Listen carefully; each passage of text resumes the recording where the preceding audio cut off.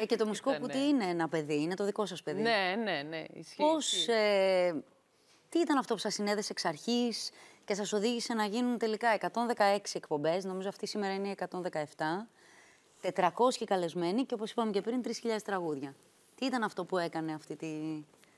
έφερε αυτή τη σύνδεση; Ξεκίνησε, ναι. Τι να πω τώρα, αυτή η ερώτηση πάει πολύ πριν, πάει πολύ ε, στην αρχή. Δηλαδή, Πιάνουμε το νήμα από την αρχή, Νικό. μπράβο. Κάπου το έχω ξανακούσει αυτό. Ε, η αρχή είναι η πρόταση του Ζούλα προς εμένα να κάνω μια μουσική εκπομπή. Που φυσικά η πρώτη μου απάντηση ήταν τι δουλειά έχω εγώ με την τηλεόραση, είσαι τρελός, βρες κάποιον άνθρωπο σχετικό κτλ. Τα έχω ξαναπεί αυτά, αλλά μια που ε, το πιάνουμε από την αρχή. ε, Έχεις ξαναπεί, αλλά πρώτη φορά είσαι καλεσμένος. Ε, ναι. Μπράβο. Πες τα. Σωστά. Ε, η επόμενη σκέψη ήταν εφόσον τόσα χρόνια παραπονιέσαι και γκρινιάζεις ότι δεν αισθάνεσαι καλά σε, κα... σε εκπομπές που σε καλούν ή δεν πας ή αισθάνεσαι έξω από, το νε- έξω από τα νερά σου, τώρα που σου δίνει τη ευκαιρία να κάνεις τη δικιά σου, τέλος πάντων, φοβερή πρόταση, στρώσου κάτω και κάντινα. Ε, και θα έλεγα ότι η έμπνευση για να φτιαχτεί ας πούμε, το, αυτό που λέμε format της εκπομπής, η, η δομή δηλαδή της εκπομπής, ήταν, ήταν τρεις-τέσσερα- τρία-τέσσερα διαφορετικά πράγματα. Ήταν η εκπομπή του Σαββόπουλου στη δεκαετία του 80, «Ζήτω το ελληνικό τραγούδι», που ήταν κάτι που δεν έμοιαζε με τίποτα που είχε συμβεί πριν στην τηλεόραση. Παρόλο που υπήρχαν σπουδαίες εκπομπές και πριν του Γιώργου Παπαστεφάνου και άλλων. Ε, αλλά ήταν κάτι.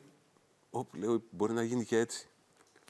Ε, ήταν ε, ένας δίσκος που έκανα πριν κάποια χρόνια, το «Τα λιμάνια ξένα», που διασκεύασα αγαπημένα μου τραγούδια λαϊκά, δημοτικά κτλ.